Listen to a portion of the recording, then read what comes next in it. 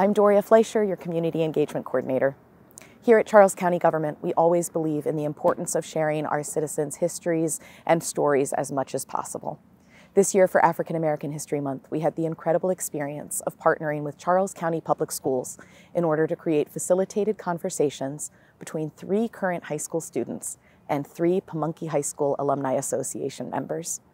Sitting down with these students and alumni members was an incredible experience to hear how their generations both experienced African American history and black culture in Charles County and in the United States. We hope you'll enjoy hearing their stories through their generational voices.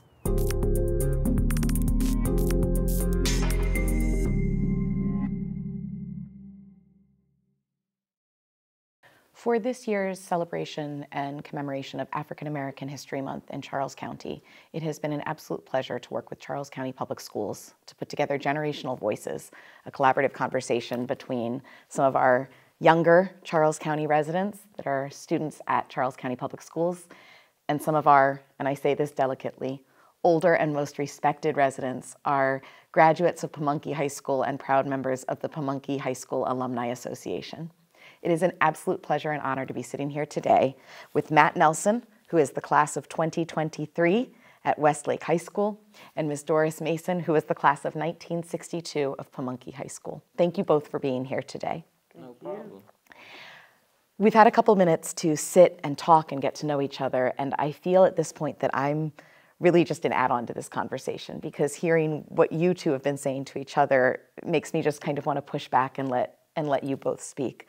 And I want to touch on some of the things you talked about already, but could you start by just introducing yourself and, and who you are and what your identity means to you? So, Matt, tell us a little bit about, about you. Well, my name is Matthew Nelson, and my identity means to me identity, the way to describe identity is the color of your skin, what you look like, where you're from, your religion, heritage, all that. I take pride into being African American and to be in America. I think that the way some people look at it is if, oh, he must be um, a robber. You know, it's a constant degrading level of how black people, especially black men, younger men, are portrayed as the bad guy always, and it's never the other person, while the white boy or person is just, you know, walking around doing drugs, handing it off to somebody, but nobody looks at him as the bad mm-hmm. guy. So you see that discrepancy. Now, you are part of a really amazing program, and I actually shouldn't say you are a part of. You are responsible for starting a really amazing program here at Westlake High School, yeah? Yes. Can you tell us a little bit about the Elite Black Men program at Westlake? So, Elite Black Men is a group of brotherhood that is portrayed of many words that to where everybody just comes together and you should always know that you should always have somebody to have your back, like a really good friend of yours that you know for years, some always something like that. But it's really to teach the younger kids to just do better and try and stay out of trouble. Mm. Well, that's amazing. And thank you for starting that program so that your peers have access to it, but also I, I, know there's some elementary school involvement also, and I, I love that for our younger students as well. Thank you. Yeah, so it would be a good opportunity for them to learn at an early age because it would be good experience and good knowledge for them to carry that on for generation to generation. That's wonderful. Thank you. No and Ms. Doris Mason, tell us a little bit about you and your identity and who you are. Well, I'm Doris Mason, and I am known to like to help people. I have been doing Meal on Wheels for about 13 years, and I'm still able to do it because I have a wonderful little 23-year-old to do all the walking for me. We do the driving and stuffing in the bags. I am a member of the NAACP. I'm the vice president of the Pomonkey High School alumni. I belong to the Randolph Furey uh, Unit 170 of the American Legion, and I've held president, vice president, and chaplain in that in that uh, organization. And I just like to be involved, especially my older people. I just love. I call and talk to them, even some as far as California, just to check on them and see how they're doing. So I hear the community ringing through for you and helping people, and right. and same with you. So even with an age difference, um, you both have resumes that I can't compete with. These are these are impressive lives that you are living. So thank you for being a part of our community and doing that. Thank you for having us here. I like I like helping people. There's nothing wrong with helping somebody who needs it. Yeah, so important. I want to talk a little bit about the, this conversation is going to focus around Black History Month, and this year's theme for Black History Month is fighting fighting oppression and the resistance and racism that has existed in our Black culture for years. Can you tell us what Black History Month means to you and why this month is important or why you think that this is a time we should recognize? Matt, if you don't mind going first. Black History Month to me, it means an annual celebration of African Americans and their achievements that they've done throughout U.S. history for generations and generations of time.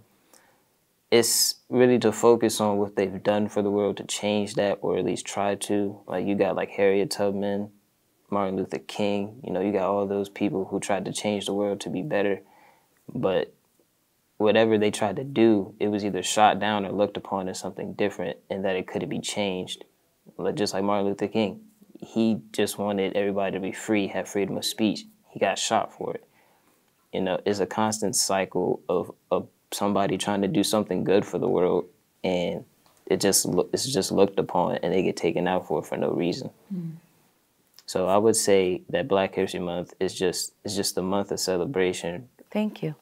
And Ms. Doris, what, is, what does Black History Month mean for you? It is our month of pride and joy. Mm. We, it's, it's, it's, they gave us the shortest month of the year, but it gave us the loving month of the year. Valentine's Day is this, is this month, and Heart Awareness Day is this month. So it's from the heart. And words cannot describe how, uh, when the February come up, how we feel. And the things that some of the black people's invented. Like imagine a world without potato chips or peanut butter or the traffic light. It's so much we've done. I, my only wish is it would not just be shown, shown on, in February. Let it be put in the history books, all ethnic groups, and keep it our keep it our month, but just let all of our history be in the books like everybody else's history. A part of our American history. Right, yeah. because uh, the black man did the backbone work for a whole lot mm-hmm. of things that's we taking for granted today. Yeah, thank you. So it's our month of pride and joy. Well, I am I'm really honored to be with you here this month, the month of love. I like that. We were talking before about really how different your high school experiences are. And, and Ms. Doris, you were the class of 1962, and you jumped right in and you were explaining to Matt what it was like to live in Charles County, in Maryland, in the United States at that point, and the things that you weren't able to do. Can you talk a little bit about the, the movie theaters and the stores and? True. We could not go into the stores. If your parents took you into the grocery store, they had you by their hand because you wasn't going to touch nothing. You couldn't touch nothing. In the clothing store, we couldn't try on clothes. We might have to hold it up to you and hope that it fit. In the movie theaters, we had two movie theaters. One was in Glenmont, Maryland, and the other was in La Plata, where we had separate doors to go in, and we had to sit upstairs, and the whites sat downstairs, we would have to wait till the whites left the theater before we could come down, downstairs. And then we had Marshall Hall Amusement Park uh, down Marshall Hall. You couldn't go into the park. You could go in there get a job like cleaning up the trash and all of that. And I had a friend had uh, was in D.C. and had won a trip to come. They had a the Wilson line came from uh, D.C. down to Marshall Hall Park and bring people to the park. He had won a trip to come to Marshall Hall Park, but when he got to the park, he couldn't get off the ship because mm. he had to stay on the ship because it wasn't integrated. And uh, they had the jobs like cleaning up the trash. And when they did integrate and say they could go into the pool, they covered the pool up mm. and, and blacktopped it over even, I'm Catholic, even in the churches, we couldn't sit where we want to. We would have to sit in the last two or three rows in the back or go upstairs. Mm. So uh, it's a whole lot different now. But we was brought that way, and we didn't. I mean, we knew we was, we wasn't equal, but it didn't bother us as much until now that you can see what we really did miss. And like going to school, uh, you could go past a white school, but when we got the our school buses was the old buses that was broken down. Our books was the used books coming out of the white school, sometimes pages missing, sometimes tore up. Didn't have enough. You couldn't take them home because you would have to sit where two or three had to read out that same book. Uh, then when you got to school, you was wet and cold because half time the buses wouldn't start in the morning. But our teachers were so so so um, uh, appreciative they had went through the same thing, and we not knowing, but they was they, they really looked out for us. It was a rough time, and now that you can sit back and look back at what the kids have now, we were really, really out of sync. Yeah. So Matt, when I hear about Doris and her experience with high school, the racism is just blatant. Yes. How does that compare to where you feel like your generation is, where where high school is like for you? I, You know, like she said, it was all, it was always separated. Now it's like you can go into the same bathroom, you can eat at the same lunch table as somebody, you can go to church with the same with a different color. You know, you can go to the supermarket and just you know do what you want with somebody. You know, now it's like everybody can come together and do those things but it's still some parts of the world where it's just like it's just still fully racist, you know. Mm-hmm. But high school now, from my experience, I wouldn't say I experienced racism. Yeah, people have like the jokes and stuff, you know, they say that stuff online. But here, I would say it's pretty equal. I haven't experienced it as much as um, Miss Doris has, but I would say it's okay for now. What do you think are your generation's biggest struggles? What is what is your generation fighting and, and resisting and what kind of oppression does your generation still have? As of right now, we're fighting the battle of skin color and the police. It's it's everyday thing. I me, I walk to I walk to my job.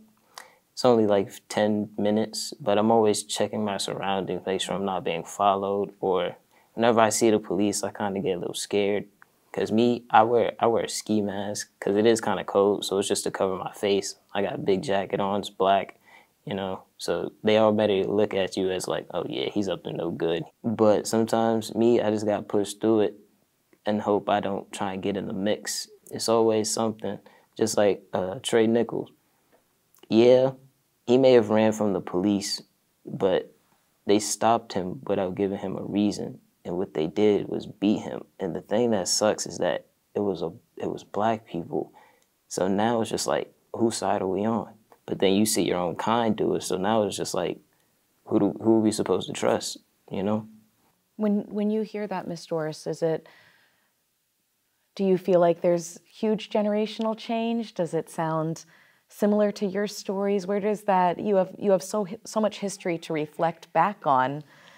what he's saying, it was going on then too. But I mean, we didn't have one thing. We didn't have television and all the all the communication. So a whole lot of stuff you didn't know about right. unless you was around or somebody saw it because right. you didn't have no way of knowing knowing what was going on. So with all this modern technology, sometimes it's good and sometimes it's not good. Right. Well, we've we've talked about a lot of heavy heavy topics. And I want to make sure we also touch on some of the celebration, touch on some of the, the pride. Um, and like you said, I'm going to keep going back to that February is the, the month of love. What do you think your generation can be the proudest of in terms of your accomplishments and, and fighting oppression and, and making change? Oh, we got a lot to be proud of. okay, of. I'm ready. First of all, we done had a black president. Now we got a lady vice president. And if you look all down through even the state of Maryland got its first black governor, and we got black senators. And right here in Charles County, we got a black sheriff, which never would have happened back there. And he's been elected three times. And you got your county commissioners, So we we got a lot to be proud of. They made Martin Luther King's birthday a national holiday. That was that was number one. They got it in a memorial. That's number two. Now we got the African American History and Culture Center in D.C. So that that's that's enough to be proud of. There's a lot to be proud of. It is. And then right in Charles County, we got schools named after some of the black educators and Matthew Henson. Mm-hmm. So we have a lot. We got a lot to be proud of. you of. were the Pomonkey High School alumni group has some pretty powerful names right, behind right. it. Right. Yes. Yes. So we got a lot to be proud of, but like I said, we got a long ways to go because we're not equal yet. No. And and uh, get we, if we can get our Black history into the regular American history, that would be a, that would be. A, That's what you see as the biggest. Yes. Okay. And Matt, what about you? What is your your generation proudest of right now? What's what's something that you really feel like your generation can just say, "This is amazing. We accomplished this." Still feel like it's still going. We're not we're not finished with um, the achievements that we're making. You know, I heard about the 13 year old girl who got accepted in the medical school. I, that that was really amazing because you know mm-hmm. she was 13. You don't really see that a lot often.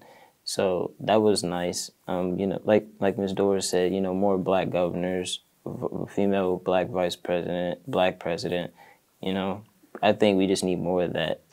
Ms. Doris, is there any wisdom messaging that you would want Matt's generation to know? If they could lay down them guns, that would be something. Because mm. guns is just everywhere. When in time they come into the schools, you know, you're finding guns at these schools like every week or so. Yeah. We didn't have that problem. We might have had a knuckle upside your head every now and then, but that was about it. Yeah. But if they could just bring some love back to the world. I'm going to hold on to what you started with, Miss Doris, which is that February is Black History Month and the month of love. And let's hope that we can find ways, like you said, get a little more love, a little less violence. Less violence, more love in the world. I love it. Thank you both so much for being here today. It has been a pleasure to hear about your different stories and how they come together to make a really powerful history.